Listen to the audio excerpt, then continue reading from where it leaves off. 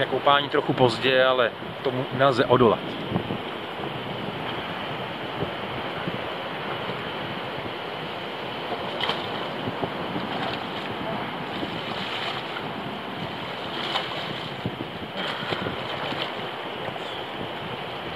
To je prostě paráda to Teď mi je dobře. Teď mi je dobře a všem doporučuji sem zajet. Takhle večer se vykoupat v divočině mezi žraloky. S rybami jenom. Protože o tom je ten Egypt. Že se koupete v moři. Nemám dobře.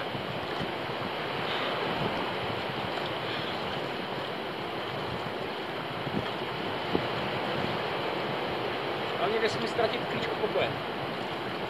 Má se klíč. Máš tam kamarády kolem sebe. Hm? To je velké? Ty to vidíš, jsou velké? Uh, ne, to jsou ty malí. To jsou ty malý, no, jenom Jsou aby, malí kamarádky. Jenom aby.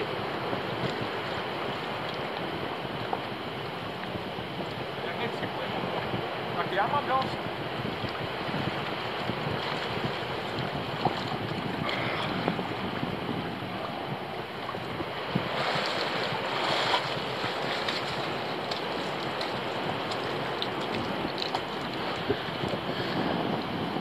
Dojmy. Bylo to skvělé naprosto, bylo to úplně úžasné. Prostě Marsa Alam, to je, to je magnet pro turisty, i pro mě samozřejmě. No nic, no. Tak já jdu dál, prostě jdu na molo.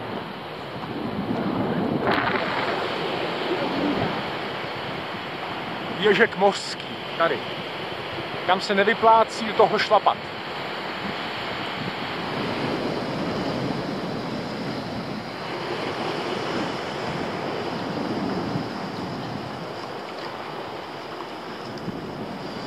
Tady vidíme vytažené schůdky, když fouká, molo je zavřeno, potom plavčík na mechanismus s řetězem zvedne tuto rovinu a s tou rovinou se nahoru dostanou i schody, co sahají do vody normálně.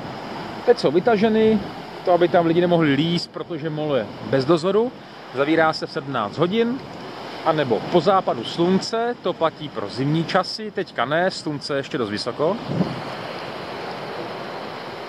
Akorát k těmto schodům mám připomínku, že se dost blbě na ně leze, protože jsou drátěné, jako není na to mít eh, schůdky z poctivého, širokého dřeva. Jako třeba moji rodiče by se na to asi nevyšplhali. Ono se na to nevyšplhám skoro ani já se svými 100 kily. Hm.